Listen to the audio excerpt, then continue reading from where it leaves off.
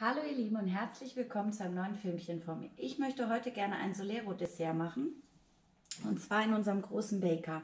Also ich habe hier schon mal ähm, Pfirsiche in äh, kleine Würfel geschnitten und habe die schon mal auf den Boden gelegt. Dann brauchen wir den äh, Thermomix für die Creme.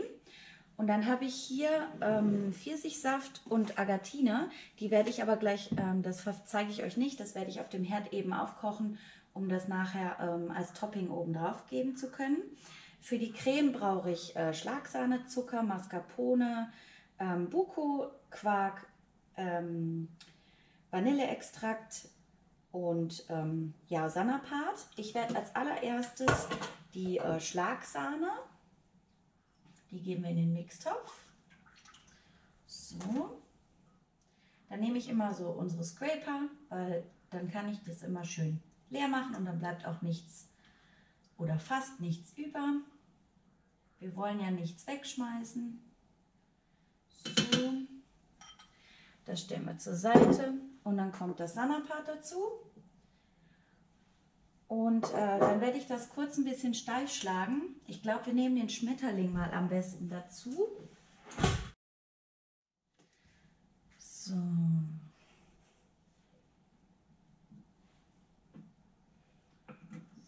den Schmetterling setzen wir einmal kurz ein.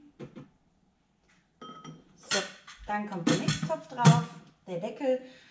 Und dann werden wir auf der Stufe 3 das äh, aufschlagen. Mir hat das jetzt äh, 2 Minuten 19 gedauert. So sieht es aus. So, also sie ist schön steif geworden. Ich äh, werde mal einmal kurz den äh, Schmetterling wieder da rausholen. So. So, dann gebe ich alle restlichen Zutaten dazu. Also hier habe ich einmal den Buko. So. Dann den Quark.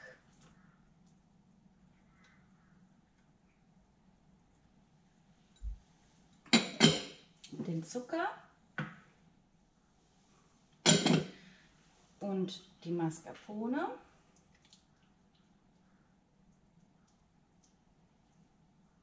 Also der Mixtopf ist wirklich sehr gut gefüllt. So, und dann kommt noch Vanilleextrakt dazu. So. Dann kommt der Mixtopfdeckel wieder drauf. Und dann werde ich das ähm, so 45 Sekunden auf der Stufe 4 mal unterrühren. 45 Sekunden, Stufe 4. Bis gleich. So, wie ihr sehen könnt, habe ich mit unserem äh, Spatel mitgeholfen, weil der Thermomix sehr gut gefüllt ist. Also wie ihr sehen könnt, der ist wirklich bis oben hin voll. Und damit sich das einfach ein bisschen besser ähm, verteilen lässt, habe ich, ähm, hab ich einfach den ähm, Spatel dazu genommen. So, dann werden wir mal kurz die Creme probieren, ob die mir hm, sehr lecker, ob die süß genug ist. So, dann nehme ich mir hier unseren großen Beker und ähm, belege damit einfach ähm, ja, unsere Pfirsiche.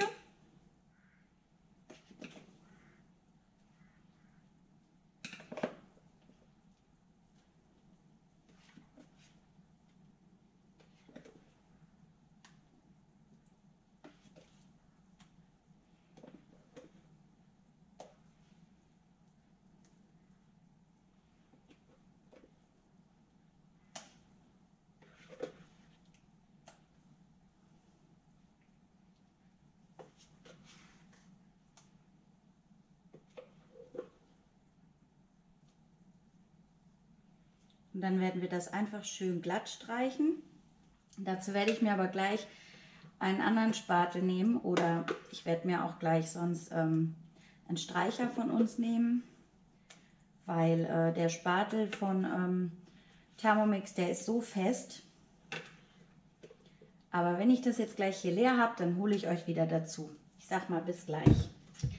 So, wie ihr sehen könnt, ich habe jetzt die Creme hier mit unserem äh, kleinen Streicher gerade verteilt. Ich werde jetzt mal kurz auf dem Herd ähm, etwas äh, von dem Pfirsichsaft nehmen und ähm, werde den mit der Agatine ähm, verrühren. Dann lasse ich den äh, aufkochen, dass der mindestens zwei Minuten sprudelnd kocht und dann gebe ich den Rest der Flüssigkeit hinzu und dann verteile ich das hier gleich mit euch zusammen in unserem großen Bäcker. Und dann sage ich mal bis gleich. So, ich habe mir gedacht, ich nehme euch mal kurz mit. Also ich habe das jetzt hier zwei Minuten sprudelnd aufkochen lassen. Ich gebe jetzt den Rest hier dazu, rühre das kurz unter. So. Rühre das nochmal kurz unter und gebe das dann jetzt hier gleich ähm, also, ähm, auf, auf unseren Baker. Und dann wandert das Ganze für mindestens drei Stunden in den Kühlschrank. So. So, ich habe das jetzt nochmal gut verrührt mit unserem Schneebesen. Und jetzt gebe ich das hier einfach ähm, drüber. So. So.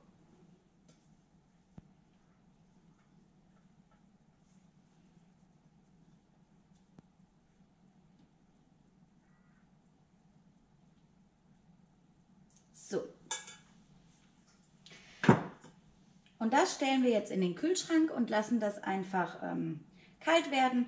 Und ich hänge euch nachher ein schönes äh, Foto an, ähm, wie das bei mir äh, nachher angerichtet aussieht. Und äh, freue mich auf einen Daumen nach oben.